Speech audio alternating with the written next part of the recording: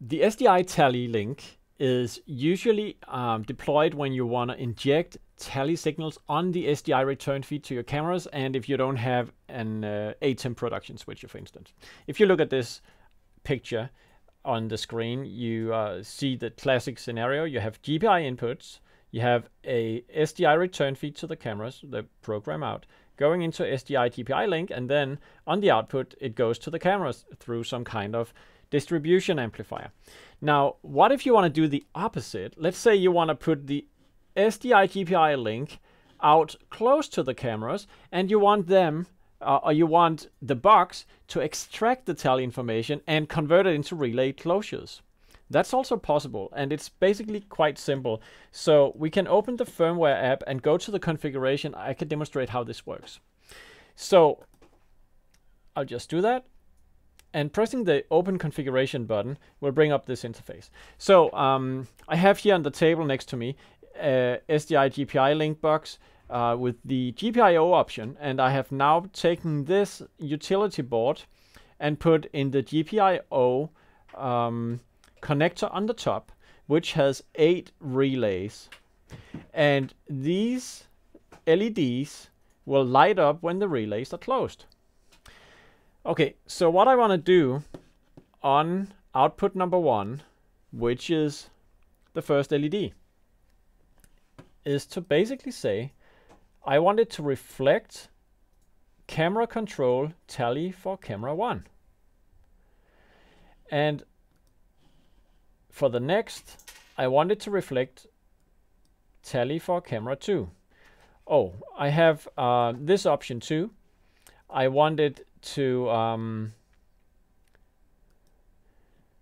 be red tally. But actually, I could also um, make it green tally, so it could reflect anything.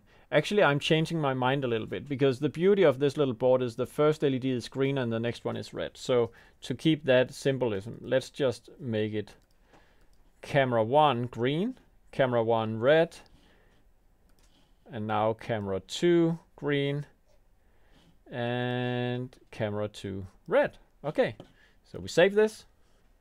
And now we go back to the firmware updating application. And um, in the firmware updating application, we just uh, press check for updates. So we'll wait just shortly and see that it's now generating a new firmware on the server. So while it's generating the firmware, I'll explain the infrastructure we have right here. I have an ATEM switcher and the software control is uh, right here. And um, so I'm connected to an ATEM switcher and the green cable going into the SDI GPI link. No, actually it's coming out of the, wait, yeah. So this is from program out of the ATEM switcher going into the SDI input of the SDI GPI link. So um, and we should now be able to see it right here.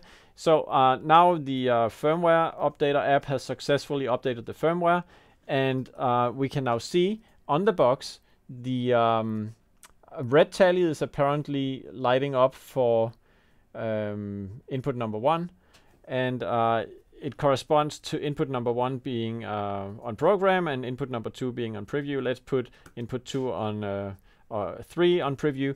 And you can see nothing is now lit.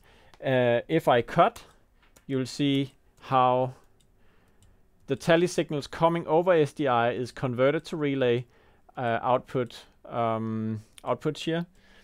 And um, if I do the same for 2, camera 2, it's the same thing.